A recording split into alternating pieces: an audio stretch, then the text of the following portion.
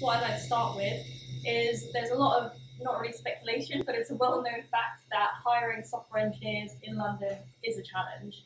Um, I mean, is that true? How challenging is it, and how does it differ from a company such as Aire to Amazon and kind of Shazam in the middle, for example? Caylee, if you want to start us off from a smaller 3T experience. Yeah, so I mean, I'm currently on a, a team of six, so um, so yeah, it's quite a different experience. Um, but I think so. One of the interesting things about working at Pariti and also helping to run Geek Girl Meetup Group is that we are inadvertently exposed to a load of really amazing women all the time. so it actually almost makes it easier for us to hire women than it does for us to hire like men in this space because we just don't have the resource to be going through the like traditional avenues and putting loads and loads of time into finding finding people. It's much more easy for us to find people that we know through our sort of personal networks and who are aware of us as an organisation. Yeah. I don't know how that would differ with like the work that you do. um, yeah, for me, I suppose like, our big challenge isn't getting people into the funnel. We, you know, people uh, obviously know who we are, uh, intrigued by the different development work we do. So it's not our, our, issue isn't about trying to get people in. It's more about trying to find the top talent. And in that case, then we're very similar to, to everybody else. I think our um, our methods are, are well established, which which it makes it even tougher for us because we, when we interview, we're not interviewing just on the tech side of things. We want to make sure that they are also fit for our organisation, and um, both elements have equal weight in, in any decisions we make. So um, our our route to market is not people coming to us; it's still very much us going out and finding them. And so I think um, we need to do as much footwork as, as everybody else.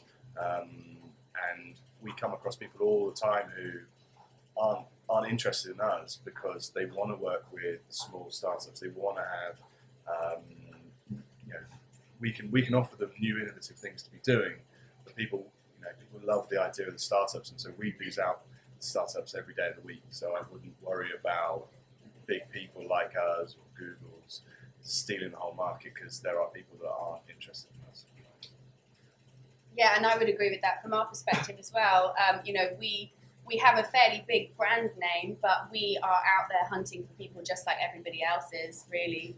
And um, you know, if you kind of consider how smaller companies be attractive against big companies, you know, we lose out candidates to all sorts of different people, but tons of startups, tons of people that are smaller than us, because people's perception of a business that's been around for 15 years, like Shazam, um, is that they're not going to be able to have that much kind of influence and impact over what they're doing. And actually, they will. Um, and we operate very much like a startup, actually, which is probably why we're still only 220 people big mm-hmm. after 15 years.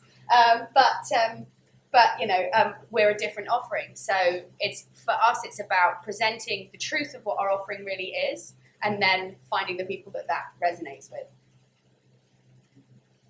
Uh, well, I guess at the top of the funnel is probably our biggest challenge. Um, so we're a small organisation with with some profile, but very limited profile. Um, and that means, I guess, our decision process is like, like the secretary problem, which itself is probably a sexist name for a mathematical problem, but you kind of see one person at a time and you need to make a decision.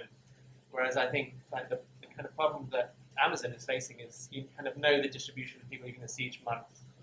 Um, I think our cultural filter is much, much more, um, much bigger than half in terms of our filter. I think because we're small, um, we know that you know, every new engineer joining is, has a much bigger impact on how the organisation is going to behave now and in the next 20 hires. So that's something we're very risk averse um, about.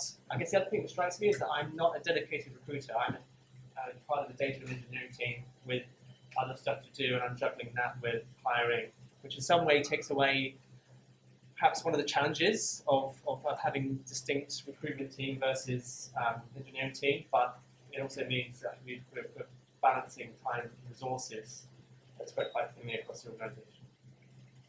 I think similar to our culture piece for us is so so important. So um, even though we're what six years old now and over 100 people, that culture piece is still really important. And even if someone ticks every single box on the actual skill side of it, if they haven't got the culture, then they're not going to be right for us. So even though we are, we've only made about 54 hires last year, we're going to make another kind of 40 to 50 this year. Um, we still rather kind of hire slow and make sure that our culture isn't diluted um, than hire fast, just get the wrong person.